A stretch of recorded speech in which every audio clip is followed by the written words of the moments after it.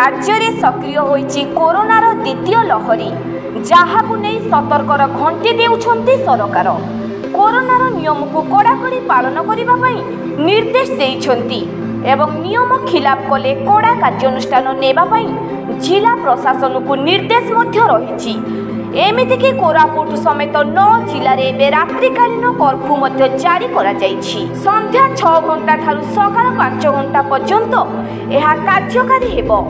ଏହି ସମୟରେ କିଏ ବି ବାହାରକୁ ବାହାରିବେନି କରୋନା ଯେତିକି କାୟା ବିସ୍ତାର କରିଛି ଯାଞ୍ଚ ପ୍ରକ୍ରିୟା ମଧ୍ୟ ସେତିକି କଡ଼ାକଡ଼ି ହେଉଛି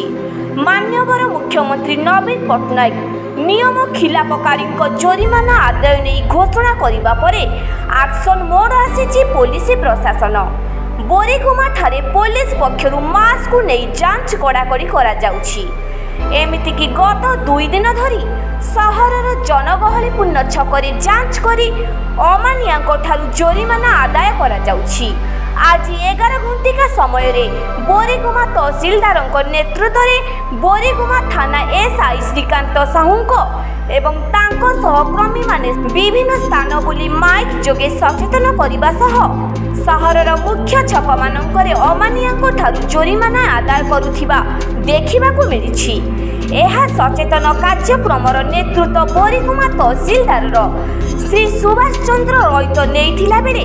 ଅତିରିକ୍ତ ତହସିଲଦାର ଆର୍ ଆଇ ପ୍ରମୁଖ ସହଯୋଗ କରିଥିଲେ